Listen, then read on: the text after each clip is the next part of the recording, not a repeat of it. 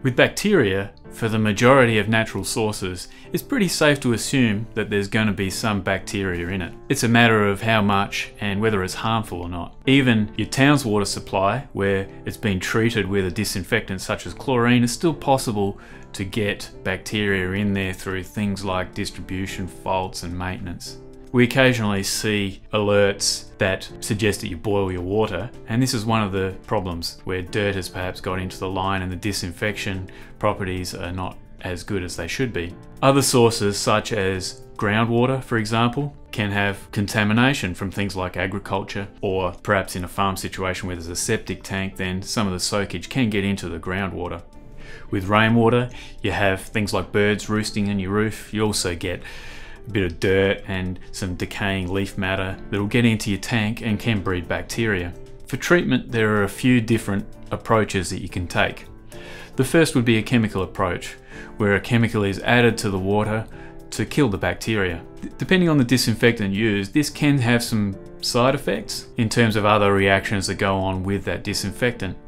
It also requires a bit of maintenance and regular addition of that chemical to the water to make sure that the system is free from harmful bacteria. Another option would be to physically exclude the bacteria. For example, things like Giardia and Cryptosporidium can be physically excluded by a half micron filter.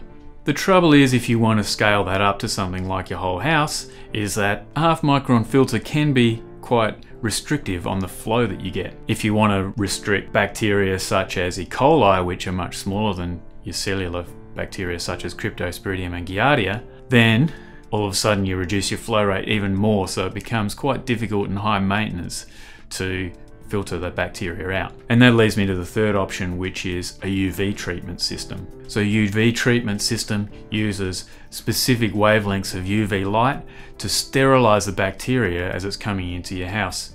The advantage of this is it doesn't leave any chemical residues. It doesn't leave any taste and it also allows you to really get that flow rate up so you can disinfect the water that comes to your ensuite for a drink for example or the water that sprays over you in the shower. So in summary for bacteria, bacteria is common in water and our recommendation is to assume it's going to be there and treat for it. For more information about any of the things discussed here, please click on the link.